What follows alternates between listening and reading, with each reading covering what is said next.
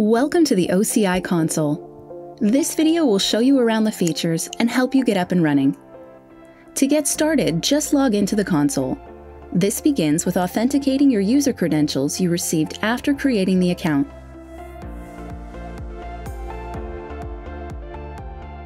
After you log in, you'll be here on the console screen and ready to navigate through all of the options.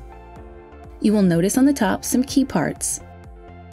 Service Navigation easily takes you to see a list of all appropriate tools you can use to build out. Each part on the left will provide access to one of the resources you need to build, such as compute or monitoring.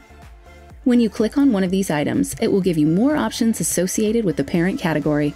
And if you're a few layers deep and want to turn back, just click on the Oracle Cloud or the navigation tree at the top of the page. Many features of the console stay out of the way when you don't need them, but when you do, they're only a search away. Simply type any item into the search field and you will see items to navigate to.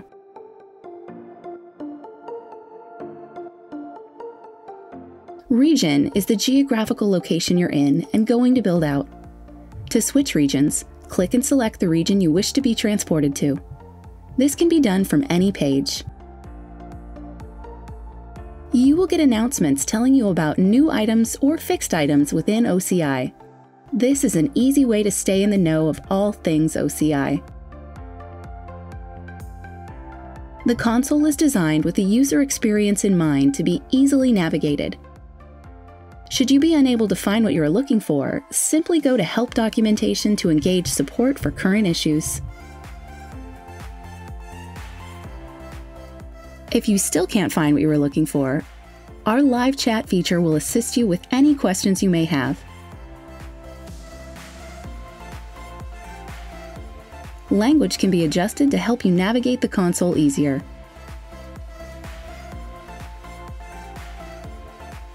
Profile gives you quick access to some of the items such as the tenancy you are in and user settings.